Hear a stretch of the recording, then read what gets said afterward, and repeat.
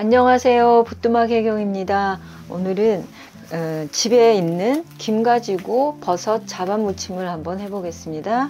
그럼 시작하겠습니다. 버섯은 미니 새송이 버섯인데요. 이거 아니어도 뭐 느타리 버섯이나 새송이 버섯 큰 거 그걸 하셔도 괜찮습니다.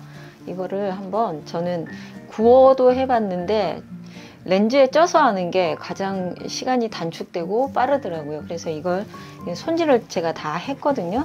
여러 칼집을 한번 내서 렌즈에 1분 30초 돌리겠습니다. 2등분씩만 하시면 됩니다. 돌리면 수분이 빠지기 때문에 아니면 좀 나는 식감을 작게 하고 싶다 싶으면 3등분 정도 이렇게 원하시는 대로 하시면 돼요.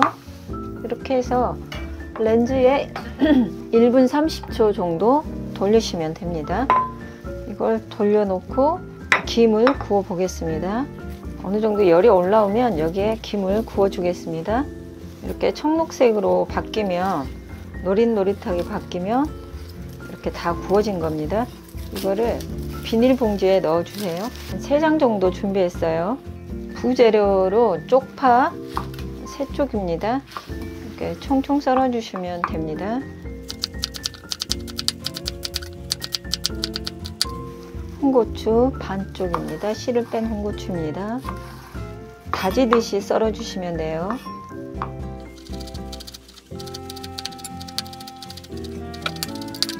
청양고추도 홍고추랑 같은 모양으로 썰으시면 되는데 저는 작년에 여름에 어, 고추 많이 나올 때 이거를 다져가지고 썰어가지고 냉동실에 얼려놓던 걸 지금 이렇게 쓰고 있거든요. 여러분도 여름에 청양고추 많이 나올 때 이렇게 잘게 다져서 냉동실에 얼려놨다가 필요하신 만큼 써서 아니 필요한 만큼 빼서 써시, 쓰시면 돼요. 지금 청양고추가 굉장히 비싸잖아요. 그래서 얘는 한 스푼 정도 돼요.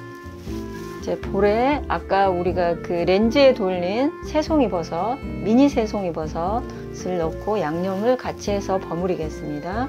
여기에 여기에 들어가는 양념은 국간장, 아니 진간장 한 스푼하고 참치 액젓. 참치 액젓이 없으시면 국간장을 쓰셔도 돼요.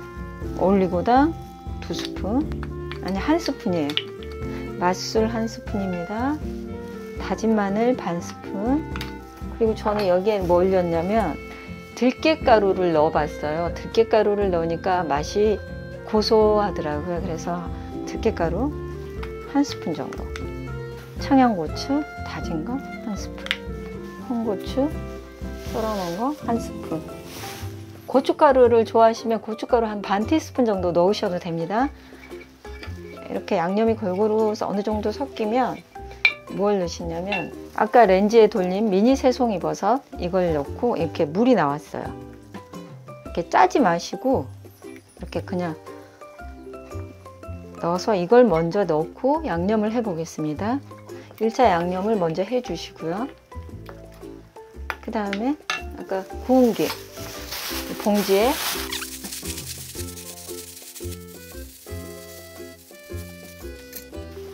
이렇게 골고루 섞으시면 됩니다.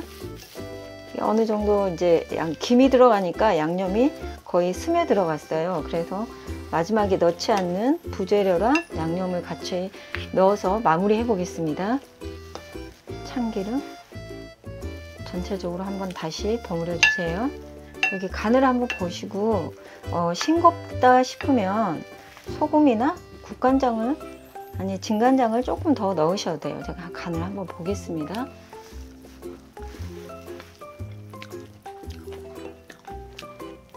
제 입맛에는 맞아요. 이게 매운 고추가 잘게 다진 매운 고추가 들어가서 아주 입맛이 당깁니다. 매운맛을 좋아하시는 분은 이렇게 하셔도 될 것 같습니다. 음, 여기에 마지막으로 통깨 넣어 보겠습니다. 네, 이렇게 하면 거의 다 완성이 됐어요. 집에 새송이 버섯 같은 거 그리고 느타리 버섯 같은 거 있으면 구워서 드시지 마시고 김하고 같이 무쳐서 드셔도 새로운 반찬이 완성이 됩니다. 이렇게 해서 그냥 밥에 비벼 드셔도 되고요. 맛있어요. 한번 추천해 드립니다. 적당한 반찬이 생각나지 않으실 때 이렇게 김하고 버섯하고 이렇게 무쳐 드시는 것도 괜찮을 것 같습니다. 오늘 또 시청해 주셔서 감사합니다.